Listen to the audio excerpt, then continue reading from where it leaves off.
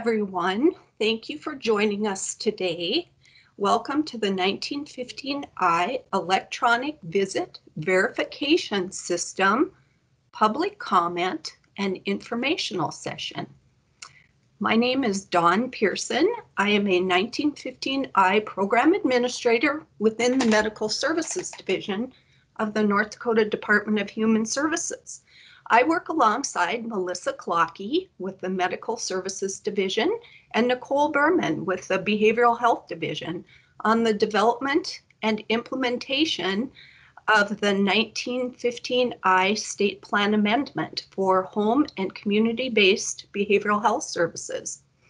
Nancy Nikolas Maier is the department subject matter expert on electronic visit verification and we are fortunate to have her in the audience today. Nancy will be available at the end of the presentation to answer questions or offer clarification as needed. Just a few housekeeping items before we get started. This presentation is being recorded. Everyone has been muted to reduce background noise. This PowerPoint, as well as the recording, will be posted online via the 1915 I Behavioral Health website.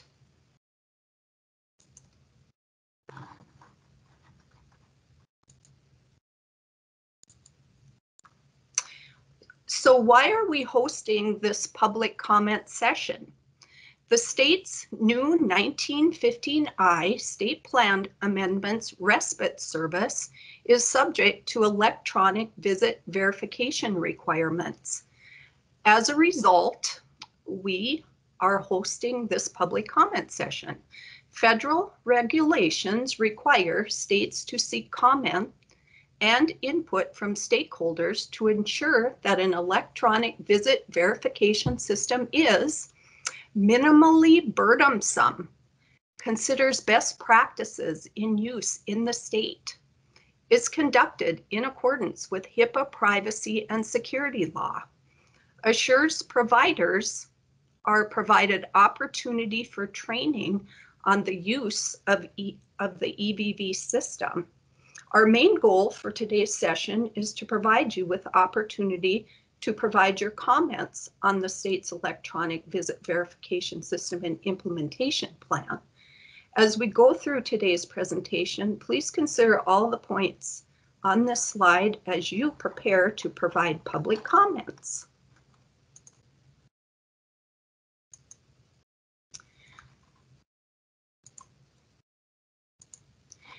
So here is a overview of the presentation today.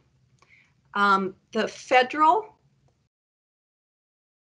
we plan to provide you with a brief overview of the Medicaid 1915 I State Plan Amendment for home and community-based behavioral health services, and also share information on the federal EVV requirements and what it will mean for you as a 1915 I respite provider.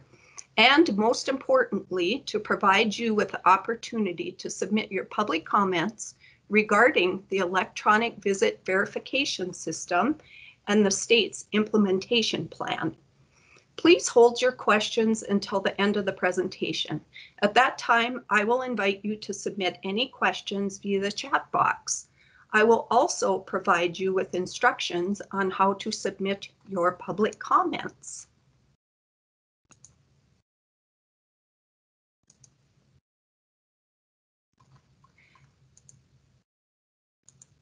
So as I mentioned, I'd like to first provide a brief overview of what 1915 I Home and Community-Based Behavioral Health Services are, so you have some context behind your public comments. North Dakota has defined 1915I home and community-based behavioral health services as services designed to support individuals with overcoming barriers in their social and physical environments that may limit the individual's ability to gain or maintain access to life in the greater community. In the past, individuals with more complex needs would have limited options for accessing care in the community of their choice. Last legislative session, North Dakota lawmakers recognized this concern and authorized the Department of Human Services to create this Medicaid 1915I state plan amendment. When the amendment is approved by our federal partners, the Centers for Medicare and Medicaid Services, also known as CMS, it will allow North Dakota Medicaid to pay for home and community-based services to support individuals with behavioral health conditions, including mental illness, substance use disorder, and brain injury.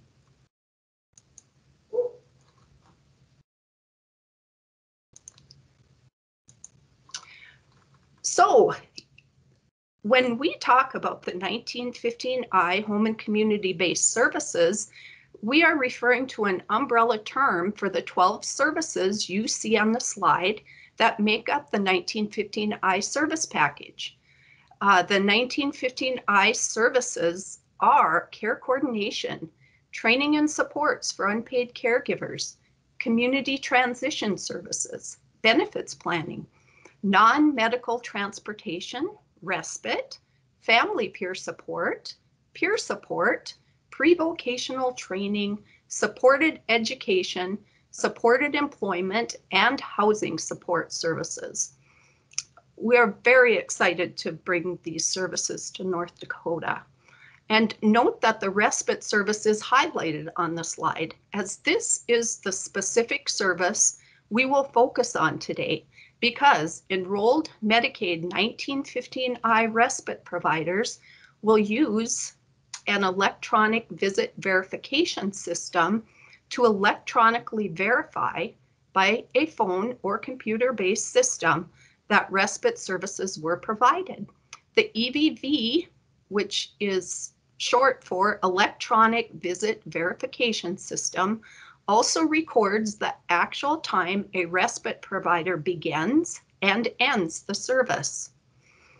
And for further information on 1915I services, again, please visit our behavioral health website at this location. And you can view the 1915I services orientation training for a, a detailed um, overview of the services.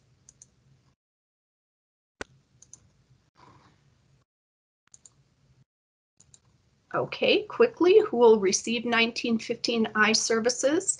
Those individuals must be eligible for Medicaid or Medicaid expansion.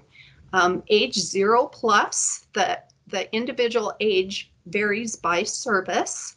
They must have the behavioral health qualifying diagnosis, uh, WHODAS assessment score of 50 or above, and they must be living in a home and community-based setting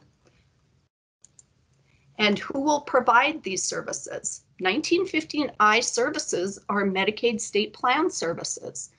To provide 1915I services, providers are required to complete the 1915I Medicaid provider enrollment process. And for further information on enrolling as a 1915I provider, visit the Behavioral Health 1915I website and view the 1915I provider enrollment training.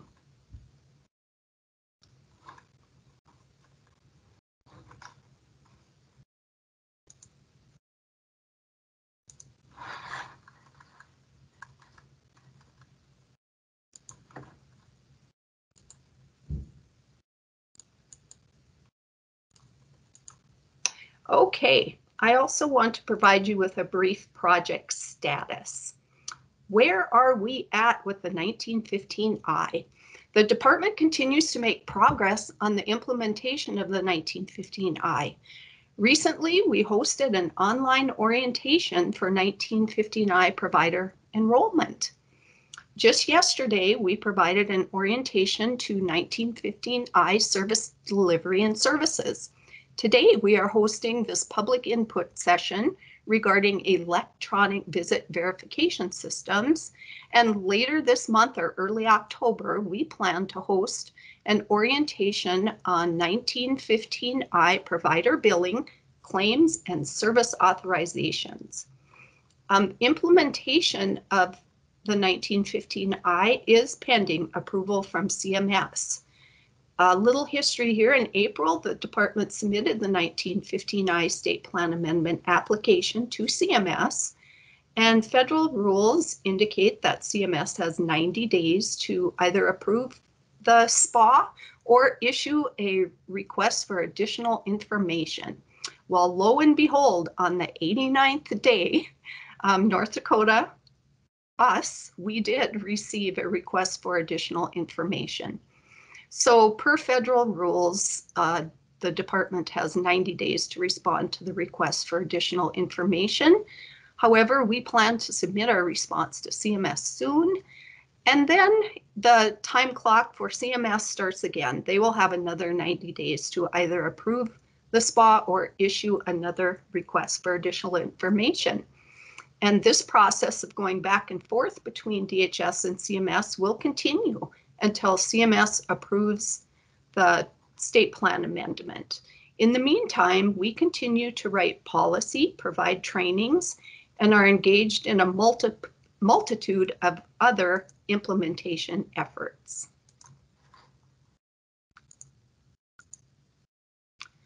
Okay, so let's move into the electronic visit verification section of the presentation. Hopefully with the, the context you were given in the previous slides, um, the EVV is going to make a little more sense. Um, the following slides will answer these questions. What is electronic visit verification? Why do we need it? Who needs to use it? And when will it start?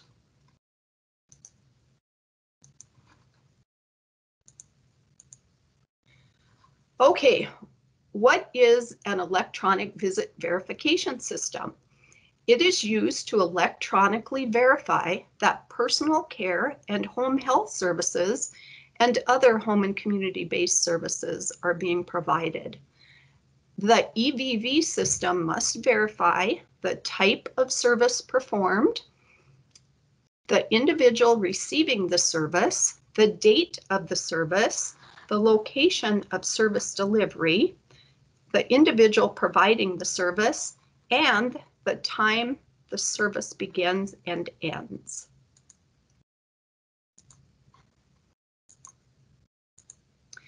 And why do we need an electronic visit verification system?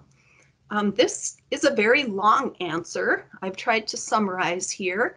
Um, the Office of Inspector General completed um, many audits and evaluation reports focusing on personal care services beginning in 2006.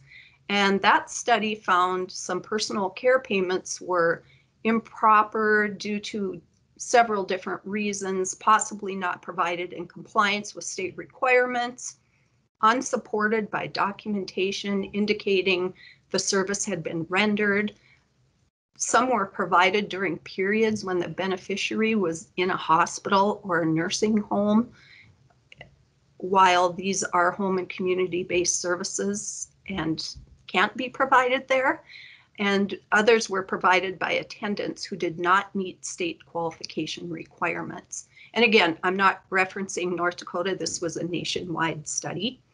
So the Office of Inspector General concluded that there were inadequate, inadequate controls to ensure appropriate payment and quality of care and made several recommendations. The 21st Century Cures Act was signed into law in December 2016, requiring electronic visit verification of Medicaid funded home and personal home health and personal care services, which require an in-home visit.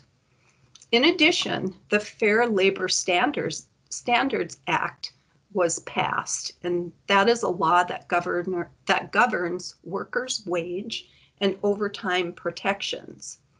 So the rules regarding how this applies to home care workers has been updated, and the law now requires that most home care workers, including some individual qualified service providers, be paid at least minimum wage and overtime for all hours worked over 40 hours per week. And this includes the time spent traveling between clients. So the, the EVV system will also be used to document and track the time in-home providers spend providing services and traveling between clients for purposes of the Fair Labor Standards Act compliance.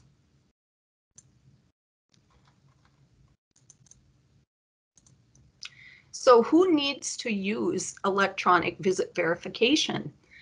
Medicaid providers of personal care services and home health care services.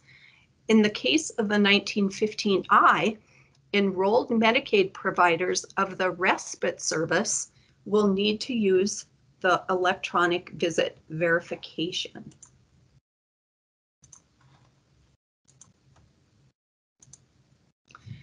Um, just to give you a broad overview of the large impact of this electronic visit verification legislation, um, these are all the programs within North Dakota that um, were affected or impacted by this and are in the process of implementation. I won't read through them, but in the end, you can see here the 1915I State Plan Amendment, which is the reason we are here today.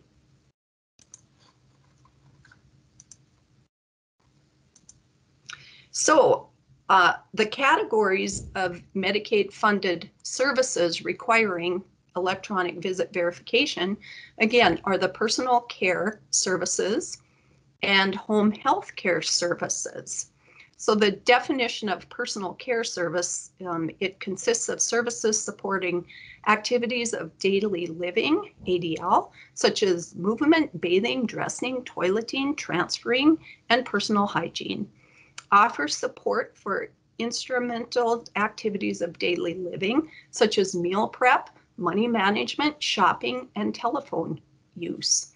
As mentioned earlier, the EVV federal regulations apply to the 1915I respite service because it falls within this personal care service definition.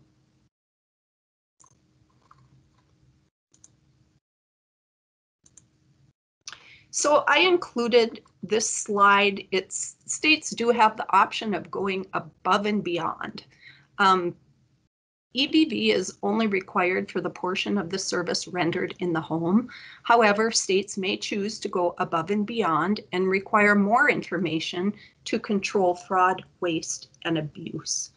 Um, we won't get into that, but this slide, as well as the recording will be available on the website for your viewing.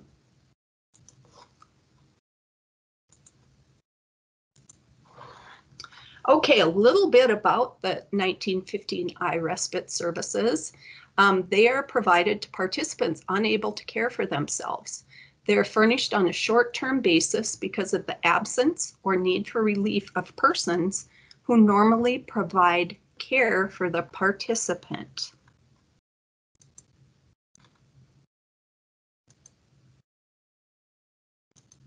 And I may just be doing a little plug for all of you out there who may be considering becoming respite providers because that would be very exciting to us. So another slide on respite care services for the 1915I. The activities include assistance with daily living skills, assistance with grooming and personal hygiene, meal prep, serving and cleanup, administration of medication, supervision, recreational and leisure activities, and assistance with accessing, transporting to and from community activities. So as you can see, these activities would place the 1959 respite service within the definition of personal care services requiring the electronic visit verification. And please note that the EVV requirements will apply to both traditional Medicaid fee-for-service clients and Medicaid expansion administered through Sanford Health Plan, a managed care organization, and the clients receiving respite through the I will, the EVV will be applicable for.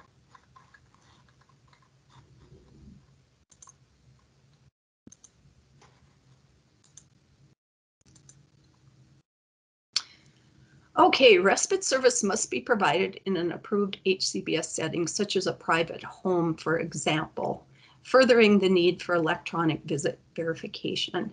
Um, please note that 1915I respite services cannot be provided in a nursing facility, institution for mental disease, IMD, hospitals, or other locations that have qualities of an institutional setting.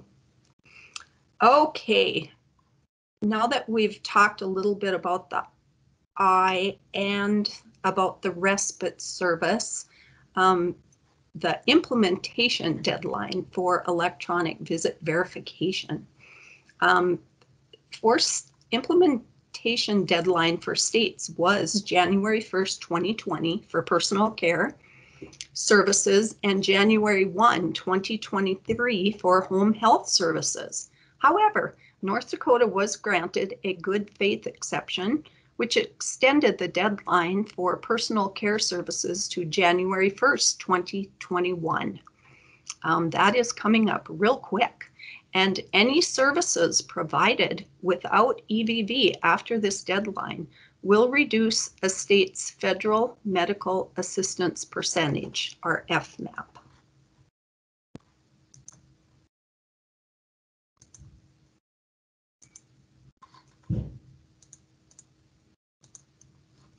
Okay, here's a timeline for the electronic visit verification requirements.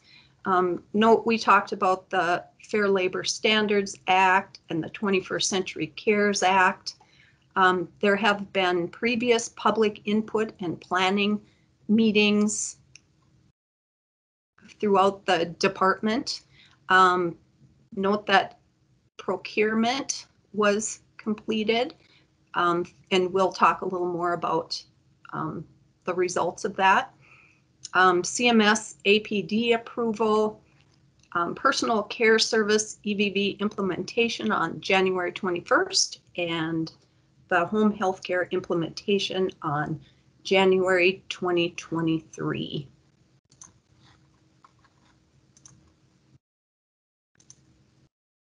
So much work has been in progress.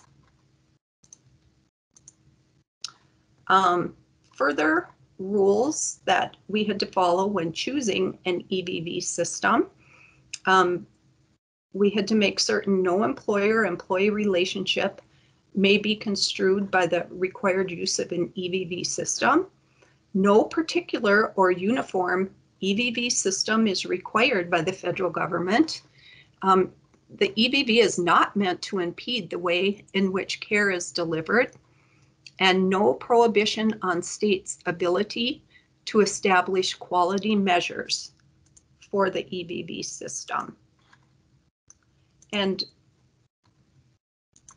what would an ideal EVV system look like? First and foremost, verify that the visit took place. Confirm that the caregiver provided the care they were authorized to provide document the activities performed during the visit, improve ability to respond to audit requests, improve audit outcomes, reduce manual effort, assist with documentation, and produce and submit a clean claim.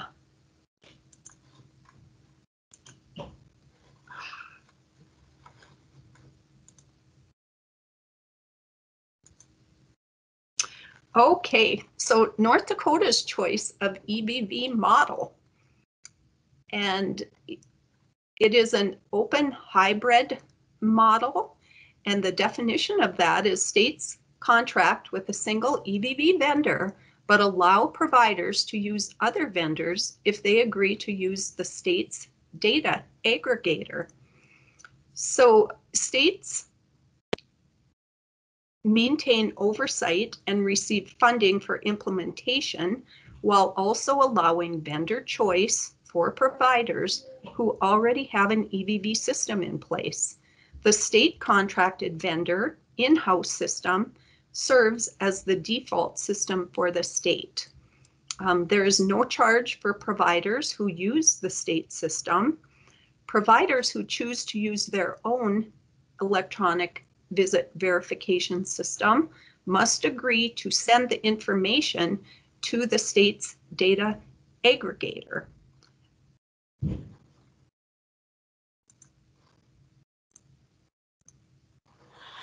So our state's EVV system contract was awarded to Therap Services.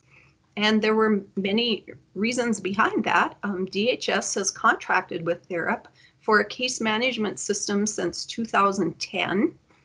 Um, the system is currently used by DD and medical services and does include an EV function that meets federal requirements and is available to current users for a nominal fee.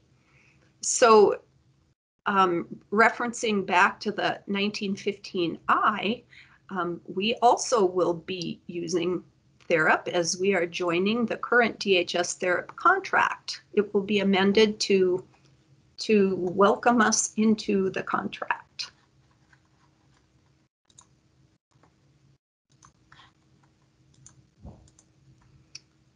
So here's um, additional information on the Therap EVV system.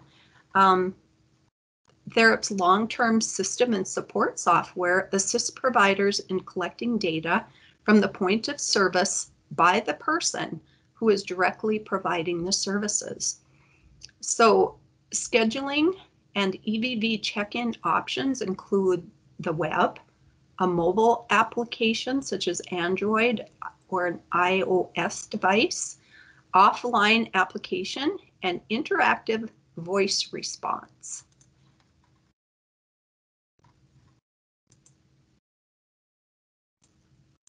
And an explanation of the data aggregator I referenced a few slides back. That is a system that collects and compiles EVV data from various sources. Um, it will, it must produce uniform data and reports and may be used to pay claims um, supports audit functions and send alerts, etc. So the last I was updated, the, the aggregator is being chosen via the request for proposal process. And Nancy may have a, a better update for us than I do. Okay, we are nearing the end of the presentation. Um, we do want to bring your attention to the North Dakota Department of Human Services website where we do have um, other PowerPoint presentations, other federal resources on the electronic visit verification. So please visit there for additional information.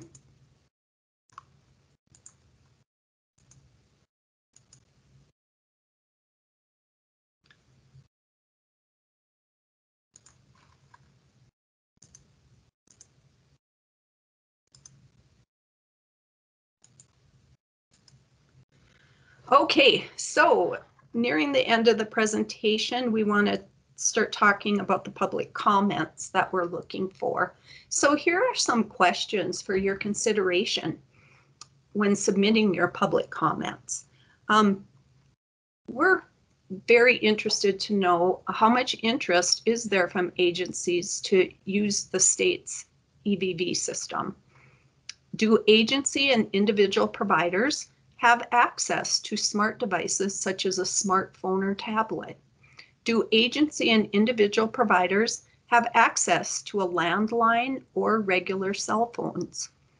What is the best way to verify the client was present during the home visit? What is the best way to provide training to providers about the use of an EVV system? And what is the best way to educate consumers about the use of an EVV system.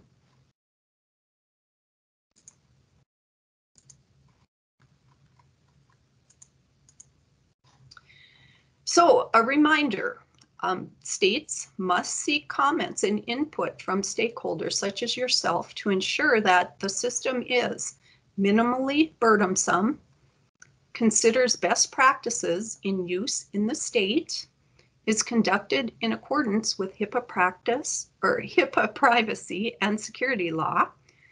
Assures providers are provided opportunity for training on the use of the EVV system.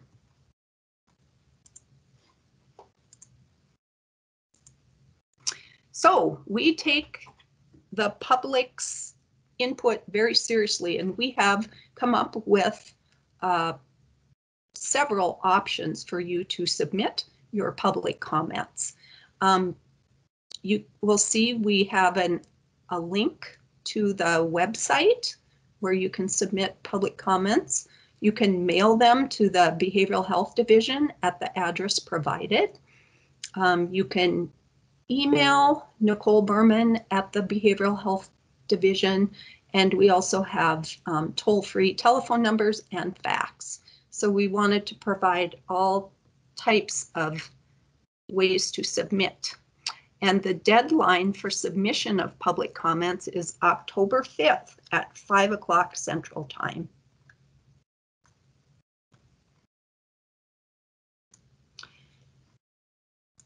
So thank you for attending today's presentation.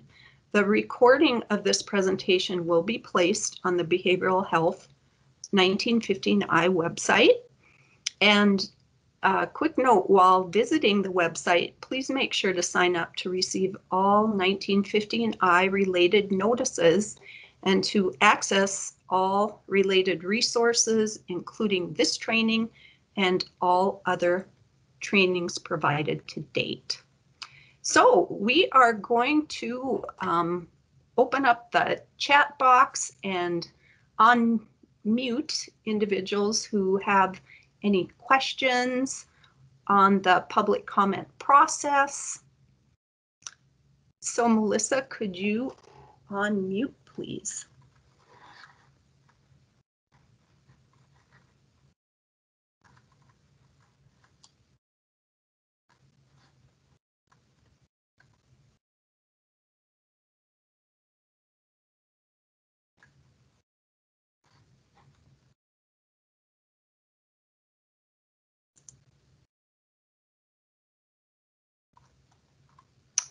Okay, I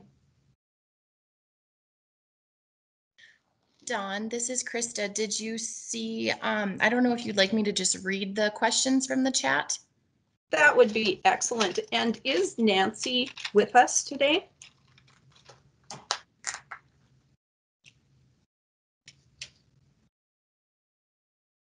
If not, I will do my best to answer the questions. Otherwise, we will take the question and find the response and get back to them as quickly as possible.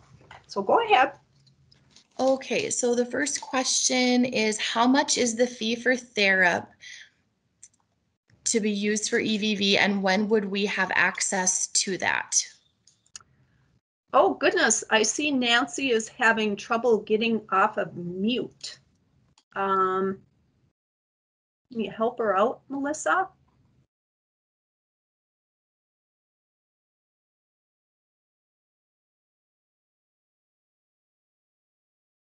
So Don, maybe, um, I think as far as the fee for Therap goes, that is not something that the provider would be responsible for paying, if I understand correctly, right?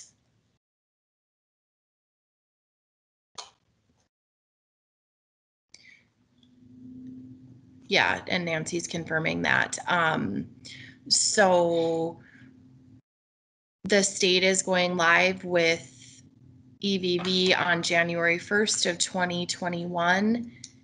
And so um, that is the point when 1915 I respite providers would need to start using the EVV. Um, okay, that was confusing given the comment saying available for a nominal fee. I guess I I must have missed that. I'm not exactly sure, but um, the providers will not be needing to pay a fee.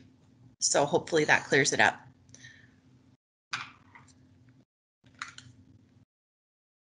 I don't see any other questions in the chat, although I don't know if people are having trouble unmuting themselves. If you are, then you'll need to submit your questions in the chat. Otherwise, we won't be able to see them.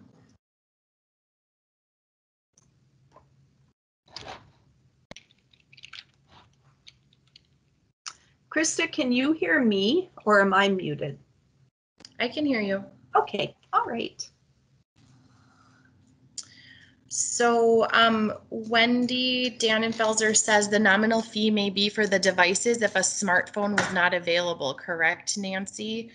Um, and I, th- I think that this kind of depends on which, which route the agency chooses to go. I mean, if they already have their own system, then they would use that. But if they're going to use the Therap system, um, my understanding is that the state would not be providing like the smartphones for that.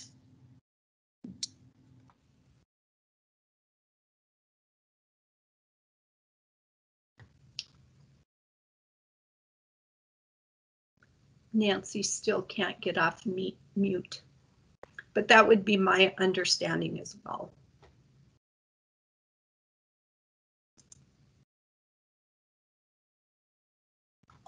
All right, do we have any further questions? If not, we really encourage you to submit your public comments. We would have a high interest in what you have to say. Oh, Nancy says there is no charge to use Therap, but providers will need to bring their own device. We won't pay for tablets, etc. Thank you, Nancy.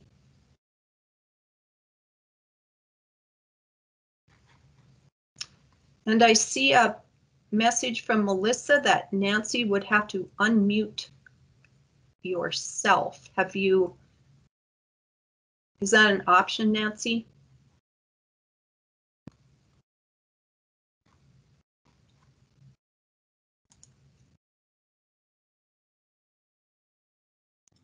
I think that Nancy is having trouble with that, All right.